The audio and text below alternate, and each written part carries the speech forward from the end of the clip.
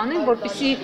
գործարարները, անգամ եթե իրենց բիզնեսը տվել են հավատարմագրային կառավարման, չհայտնվեն ազգային ժողովում։ Հիմա դուք պարտաճանաչ գալիս եք այո։ ինչպես ասացի, քաղաքականությամբ եք զբաղվում։ Հիմա ինչ են ուզում Ծառուկյանցը։ Այդ հարցը կարող եք դուք իրենց տալ։ Ես կարող եմ մի բան ասել, որ աշխարհում կարող այսօր մի հատ հետաքրվեք, ասենք թե բոլորդ էլ ունեք ինտերնետից օգտվում եք, աշխարհում ամենահաջողակ քաղաքական գործիչները դա ասենք թե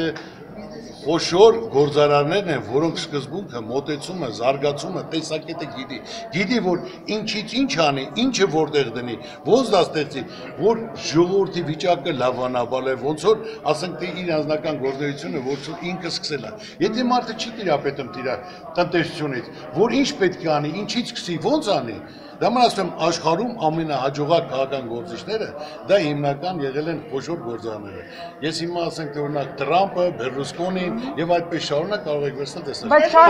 Տրամպի օրոք,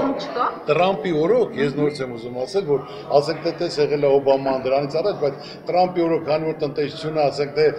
ճգնաժամ է իր օրոք եւ անշարժ գույքի գներն է բարձրացել եւ գործազրկությունն է վերացել եւ հիմնական ասենք թե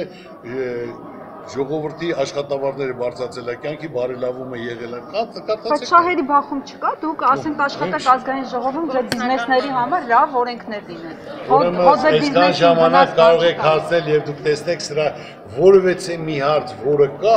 մենք թույլ չենք տալ այդ հարցին անդրադառնանք, որտեղ այսօր ես նորից եմ ասում, եթե դա պետք է օգուտա ժողովրդին, պետությանը, ուրեմն մենք Բա կլինկերի հարցը, պարոն Բայց ձեն անցած տարի ականատես եղա։ Ինչ աչք կլինկերի հարցը ինչ եղավ։ Ամբիոնից